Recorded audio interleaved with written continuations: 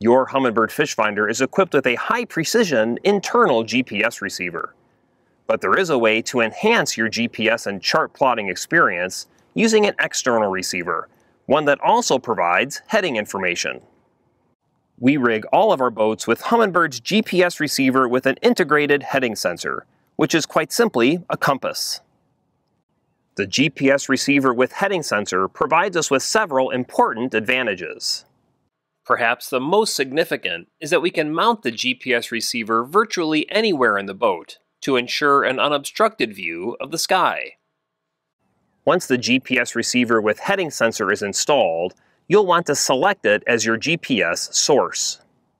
Mine is connected to a Helix, so I'll make my GPS source selection under the Network menu tab. Your GPS receiver with heading sensor will provide you with enhanced GPS reception, especially if your fish finder is tucked behind a windshield, beneath a hardtop, or inside a cabin. You'll also enjoy the benefits of having your boat's heading which is the compass direction the bow is pointing, always being reflected by the boat icon on the chart view, regardless of your boat speed. You can also plot a heading line on your chart view to provide even more information about where waypoints or structure are located relative to your boat's heading.